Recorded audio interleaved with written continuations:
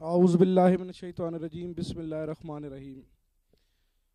مومنین، اس وقت ہم وادی السلام قبرستان کے قریب ہیں۔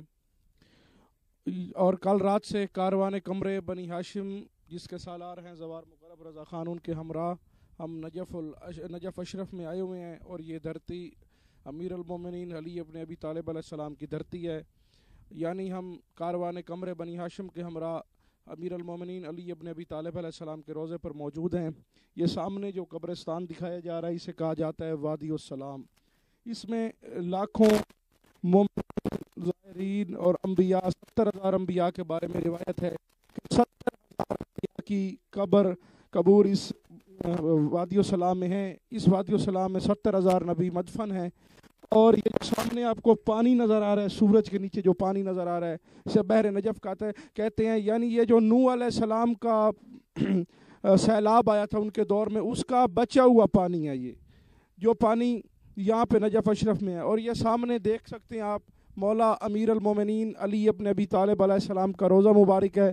مالک، ہم تمام زائرین، مومنین کی اس دروازے پر حاضری کو قبول و منظور فرمائیں۔ اس کے بعد یہ وادی السلام میں سامنے دو نبیوں کی روزے ہیں، دو انبیاء کی قبور ہیں، جناب صالح علیہ السلام اور جناب حود علیہ السلام۔ اور اس زیادہ تر زائرین اس مقام پر آ کے اپنی قبروں کی، اپنی قبروں کی جگہ بنا کے جاتے ہیں، کیونکہ اس قبرستان کے بارے میں یہ بھی کہا جاتا ہے، یہ روایت بھی ہے۔ جو بھی مومن پوری دنیا میں جس جگہ پر مرتا ہے، انتقال کرتا ہے، اس کی روح کو فوراً وادی السلام میں منتقل کر دیا جاتا ہے۔ سبحان اللہ یعنی یہ اتنی فضیلت اور عظمت والا قبرستان ہے۔ لاکھوں کروڑ قبریں یہاں پر موجود ہیں، آپ دیکھ سکتے ہیں۔ اور یہ قبرستان کی میں بتاتا چاہتا اس قبرستان میں جب بھی بارش آتی ہے، تو اس پہ ریت کے ذرے